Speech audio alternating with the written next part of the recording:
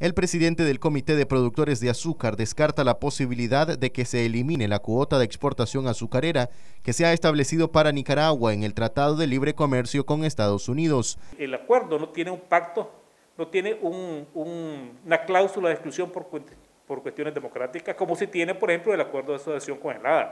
El acuerdo de asociación con Europa habla de democracia, habla de derechos humanos, habla de, medio ambiente, habla de, es un acuerdo de asociación mucho más amplio que incluye una cantidad de, cláusulas eh, que son eh, que pueden restringir y que pueden obligar o que pueden permitir que un país se salga o no se salga de un acuerdo.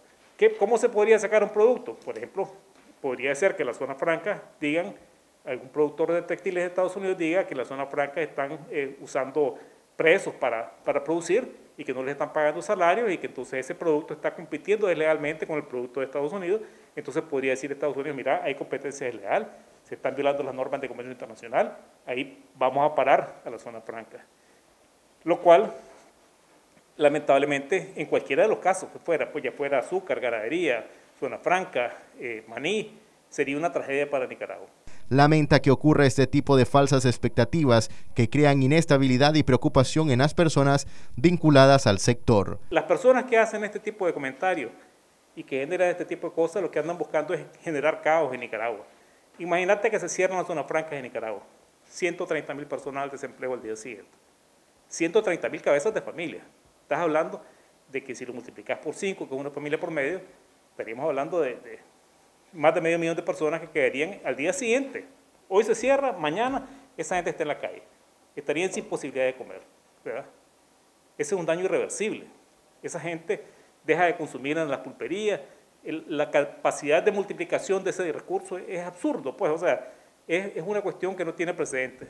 Se cierran las relaciones de azúcar, 36 mil empleos a la calle el día siguiente, pues, más 130 mil empleos de forma indirecta, pues, indirectos quiénes son, el que tiene una vulcanizadora que repara camiones, el que tiene un bus que le da servicio de transporte a los trabajadores, en fin, el, el cargador de azúcar en los mercados, toda esa gente son empleados indirectos.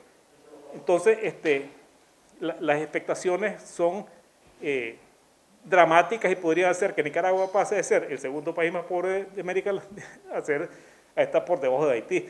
Y este, son tan absurdas que hacen que, por ejemplo, eh, Nicaragua, hoy por hoy, eh, uno de los ingenios azucareros de Nicaragua está siendo utilizado como un centro de excelencia y están replicando las experiencias de trabajo que se tienen en ese ingenio para trasladarlas al Triángulo Norte, a ingenios del Triángulo Norte, porque se considera que es un ingenio modelo, que un modelo a seguir.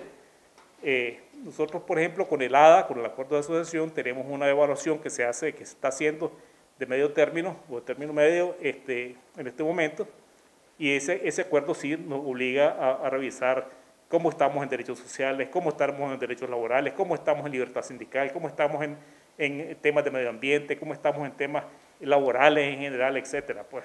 Y, siempre los consultores, hay gente que, no conoce o que no, tiene información, y dice, por ejemplo, en Nicaragua los ingenios azucareros no tienen libertad sindical. El ingenio San Antonio tiene más de siete sindicatos. Hay una confederación de sindicatos de trabajadores. Marcos Medina, Noticias 12.